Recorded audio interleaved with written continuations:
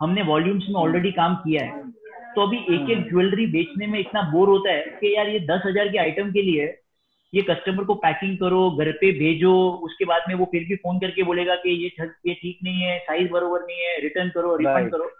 I am very sure के we we are not ready to accept that as a challenge today and that is where we all are feeling so if at all anyone really wants to start the jewelry business, please look at a horizon of minimum seven to eight years to stabilize the entire business.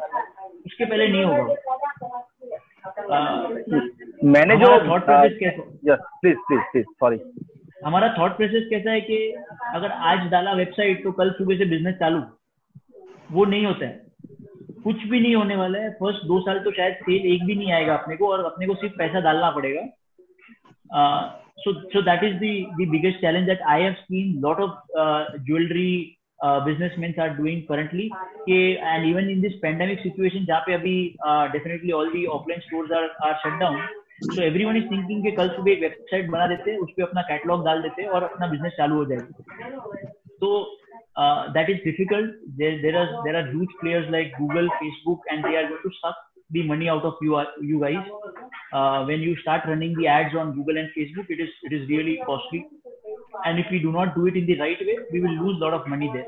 So that was the biggest challenge. How do we really bring people to the website